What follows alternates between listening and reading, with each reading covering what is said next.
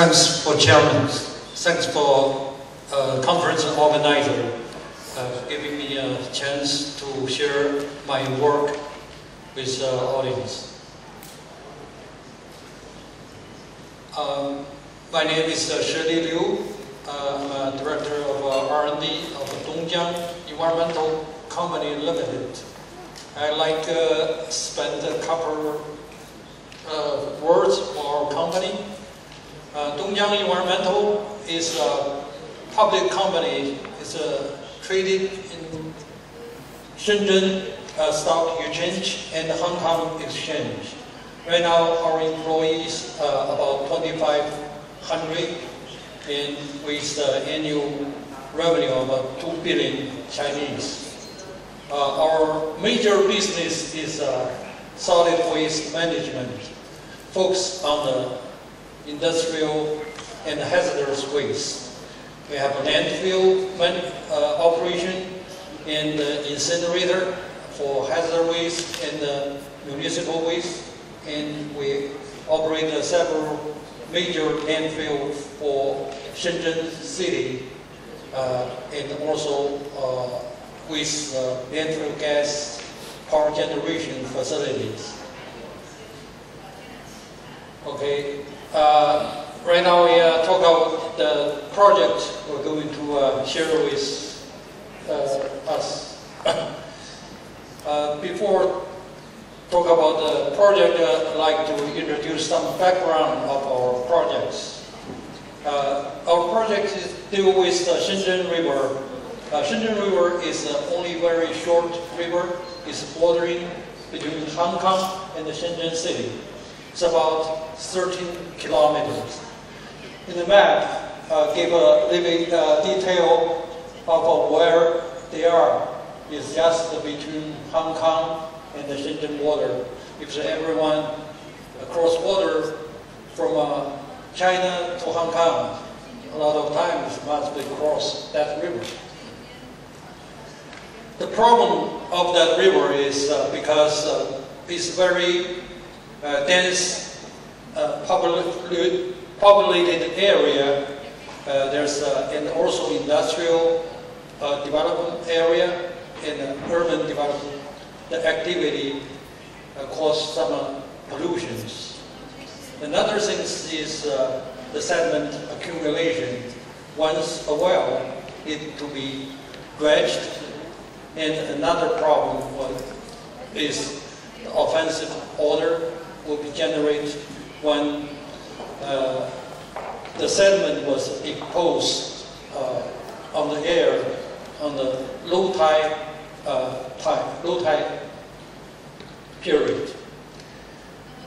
For deal with this problem, Hong Kong government and the Shenzhen government have formed a co collaboration team to uh, develop the remediation plan.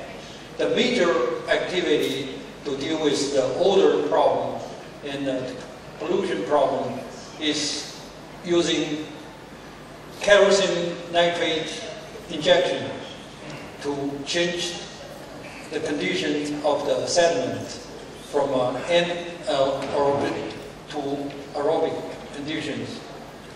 Another thing is uh, do some necessary dredging.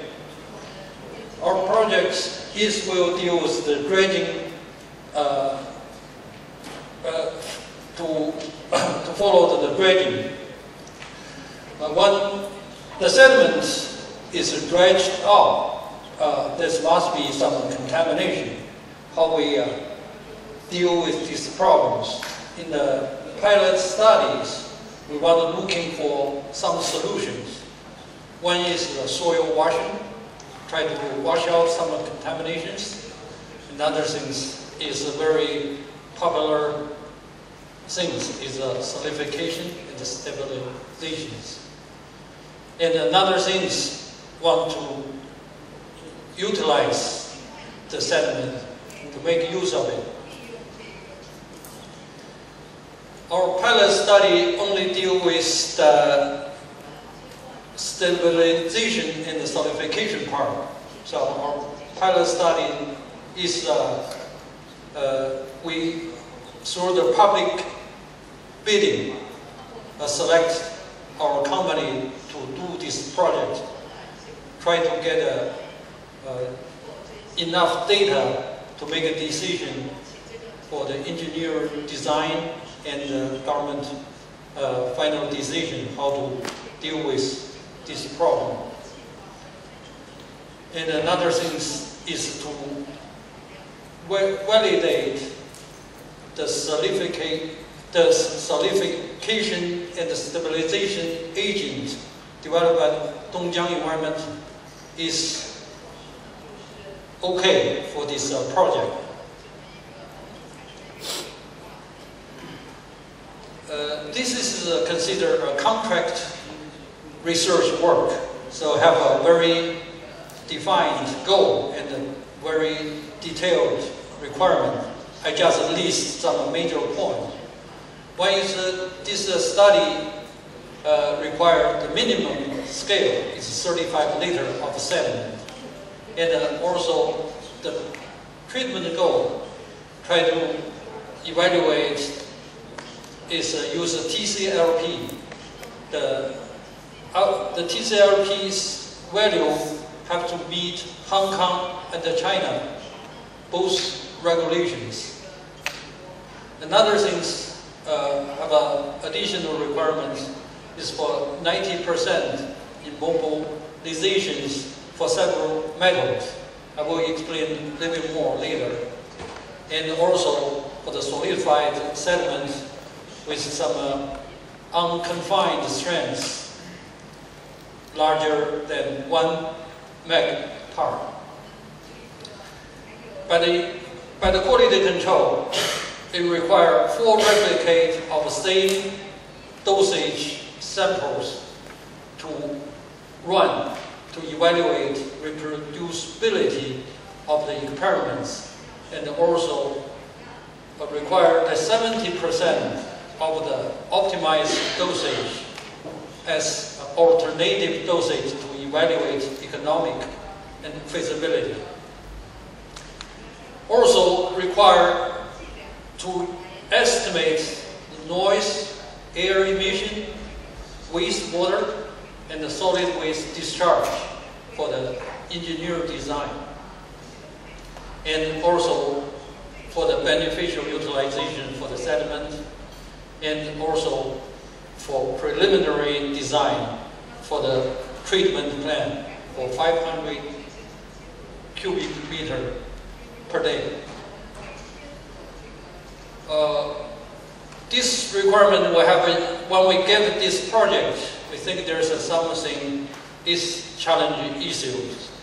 The major issues is the sediment integrity during the experiment how to represent the real situation. Because if you take after a few days or preserve in the cold uh, in the cold condition, how that will be affect the feasibility and the chemical situation of the original sediment. If you experiment on this kind of uh, preserved sediment. That, is that represent the real situation? Is your engineer parameter will be represent the real engineer uh, project? That's one of the issues we are thinking about.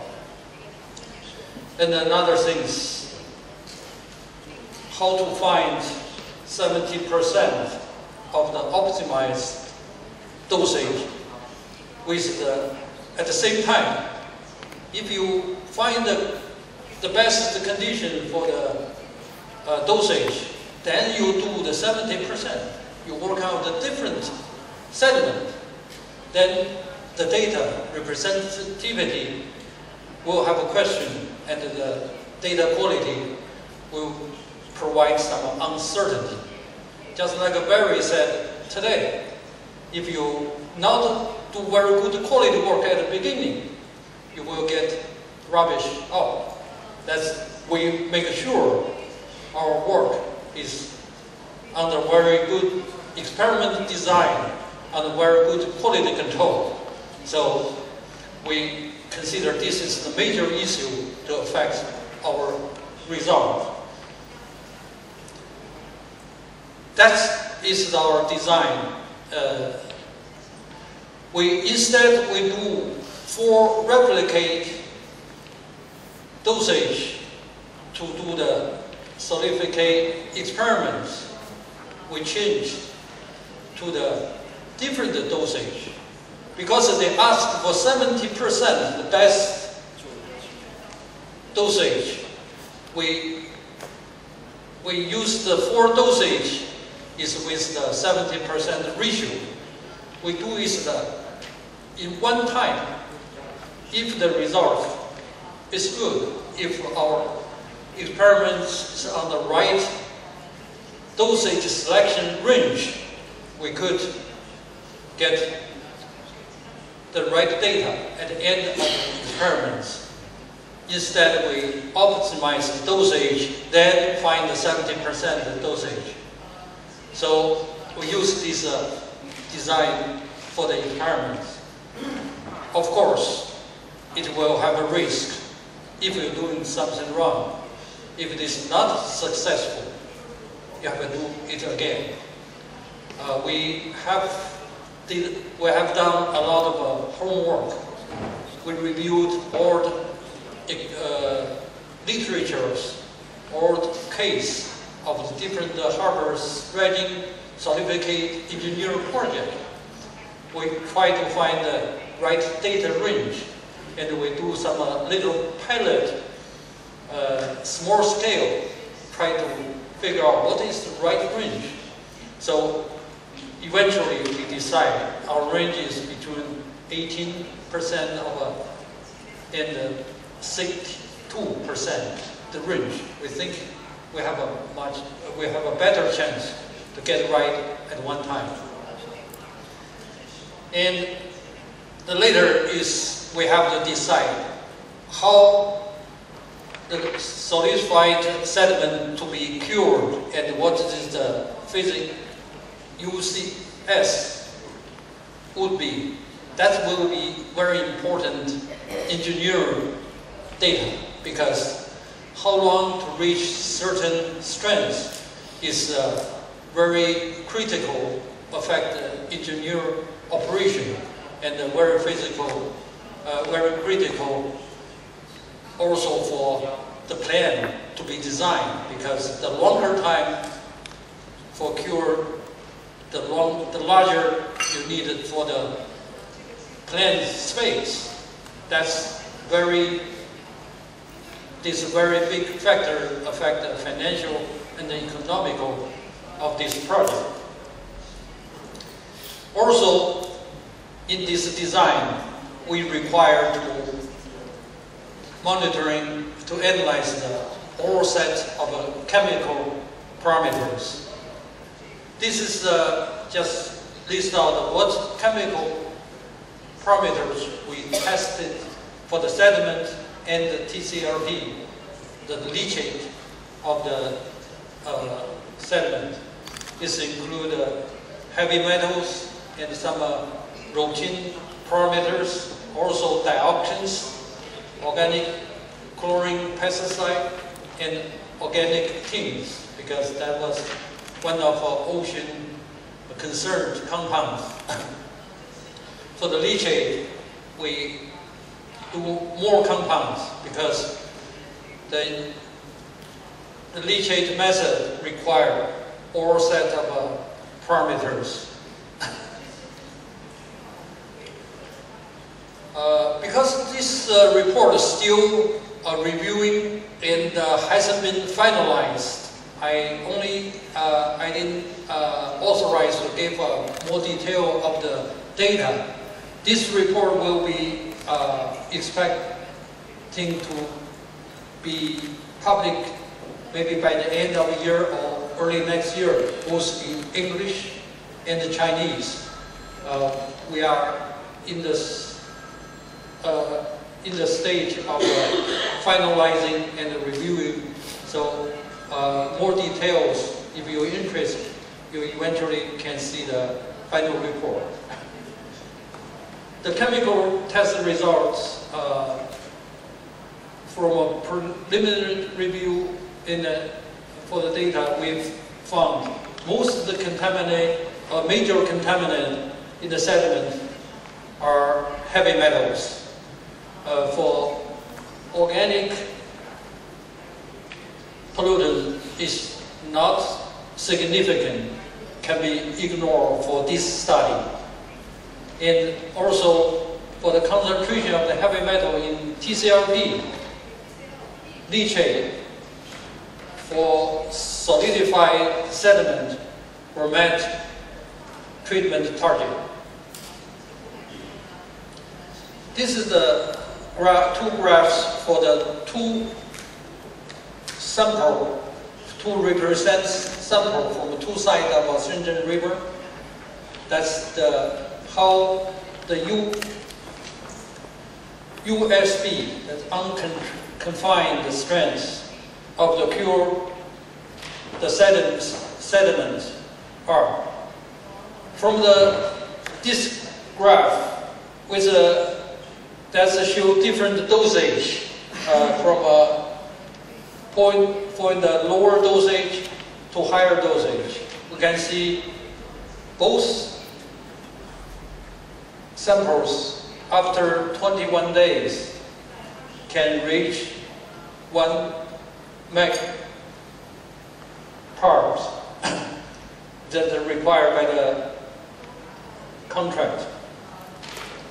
And there's uh, some thing we didn't match the treatment target is the, some metal mobility reduce, reducing. It's the, the contract required for 90% mobility reduced. But for these four metals were not met. We had, we did some uh, make, up experiments, try to find out how and uh, in what additional procedure we can take to meet this requirement was not a very successful by economical point of view or by practical uh, measures, we could not reach this uh, requirement. We also do some uh, beneficial utilization of the sediment.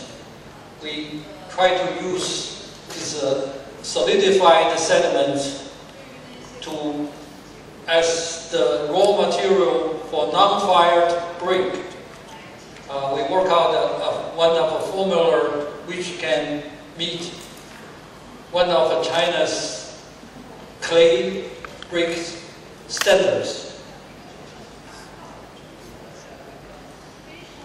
But uh, it also uh, calculated the cost is about 0.5 renminbi per brick. That's uh, we. I'd like to uh, say some words for our conclusions. Our we decide use the 12.6 percent as our agent dosage for the engineering design and use the 21 days if they require for one megapart strength. The total cost for the solidification process is about 140 renminbi per cubic meter. This does not include brick making. If you use uh, the raw material, use uh, as a raw material for brick making, it will be cost a little bit more, but you can have some products. But when we evaluate this situation, we found there could be another alternative, much feasible. That is, use this uh, solidified sediment as a construction filling material, like uh, uh, for example, for the for the parking lot, pavement under material, even we consider for the uh, airport, because uh, the airport in Shenzhen is expanding, need a lot of fillings. And also, we evaluate the chemical and the TCLP result. I think it will not affect the groundwater, surface water, if you keep it from uh, large water penetrations. So we think the alternative would be much more effective. Now, that's all for my uh, talk. Thanks for everyone.